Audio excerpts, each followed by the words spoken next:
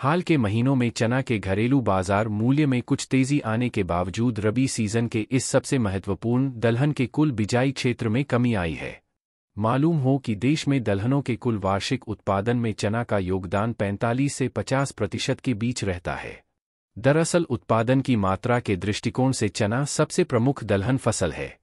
आधिकारिक आंकड़ों के अनुसार चालू रबी सीज़न के दौरान 19 जनवरी 2024 तक देश में चना का कुल उत्पादन क्षेत्र 102.90 लाख हेक्टेयर पर ही पहुँच सका, जो पिछले सीज़न की समान अवधि के बिजाई क्षेत्र 109.75 लाख हेक्टेयर से करीब 7 लाख हेक्टेयर कम है।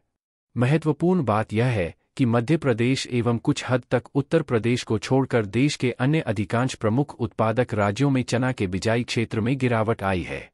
इसमें महाराष्ट्र, राजस्थान, कर्नाटक एवं गुजरात भी शामिल है। इसके फलस्वरूप चना का उत्पादन चालू वर्ष के दौरान घटने की संभावना है।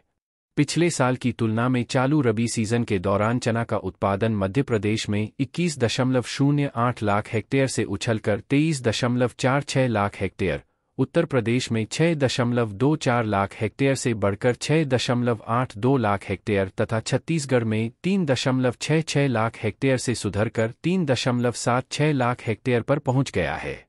जबकि दूसरी ओर इसका बिजाई क्षेत्र महाराष्ट्र में अट्ठाईस दशमलव तीन शून्य लाख हेक्टेयर से लुढ़ककर चौबीस दशमलव आठ दो लाख हेक्टेयर, राजस्थान में इक्कीस दशमलव चार चार लाख हेक्टेयर से घटकर उन्नीस दशमलव तीन आठ लाख हेक्टेयर कर्नाटक में ग्यारह दशमलव आठ चार लाख हेक्टेयर में गिरकर नौ दशमलव छह दो लाख हेक्टेयर तथा गुजरात में सात दशमलव छह चार लाख हेक्टेयर से फिसलकर छह दशमलव तीन शून्य लाख हेक्टेयर पर सिमट गया है।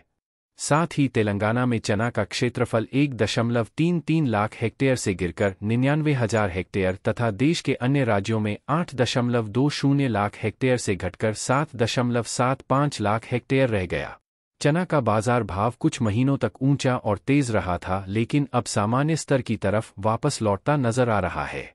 सरकारी एजेंसी, नेफेड के पास अभी इसका भारी भरकम स्टॉक मौजूद है और इसकी नियमित रूप से बिक्री भी हो रही है।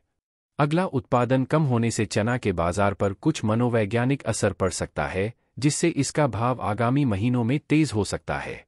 Bureau report, market times TV.